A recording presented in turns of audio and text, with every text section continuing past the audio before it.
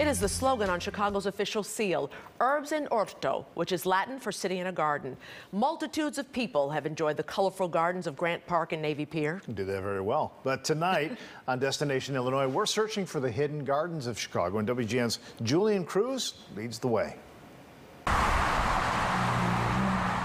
hundred yards from the mechanized roar of DuSable Lakeshore Drive,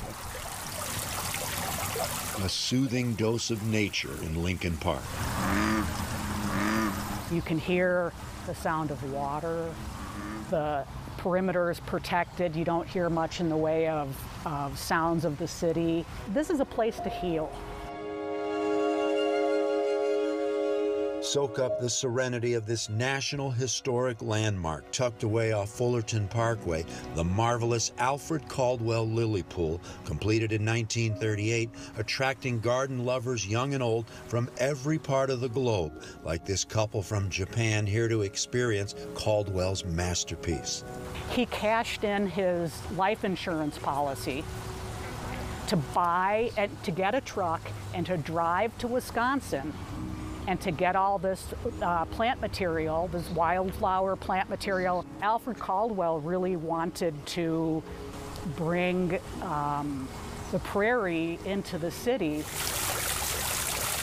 It's a garden surrounded by history, the city's oldest dwelling place, the 1836 Widow Clarke House at 18th and Indiana, keeping watch over the Chicago Women's Park and Garden, the Helping Hands Memorial, honoring Jane Addams, the pioneering social reformer, the black granite sculpture garden offset by the brilliant hues of summer.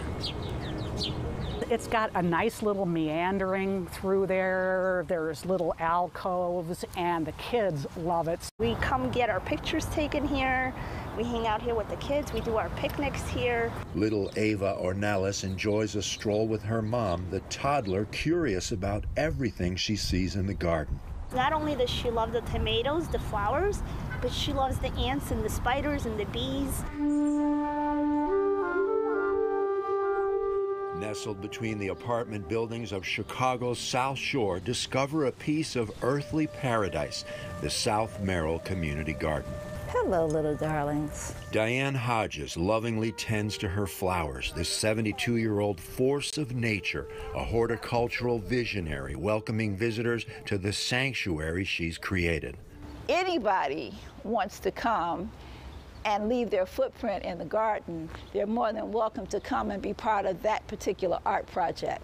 There's art projects and gardening to draw in surrounding families. The rich soil and vibrant colors of this urban refuge at 70th and South Merrill providing what Hodges says is a therapeutic encounter with nature. It's color therapy. We know that art is healing. This is scientifically proven. So this is why when people work in their gardens, they feel so wonderful afterwards. Multimedia visual artist Devon Jontel McCoy adding a new dimension to this creative collaboration, bringing beauty and inspiration to the neighborhood.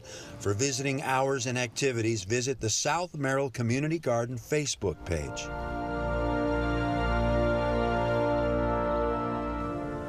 It might surprise you to find a cemetery in a garden not far from Wrigley Field. Chicago's dead resting eternally at the Graceland Cemetery, a lush blanket of green enveloping the grave sites of past luminaries from George Pullman to department store heir Marshall Field Jr. and architect Daniel Burnham the urban planner designing public parks and gardens after the Great Fire in 1871.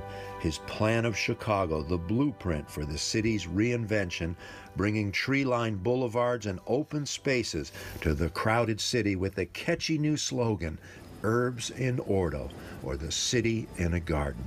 For Destination Illinois, Julian Cruz.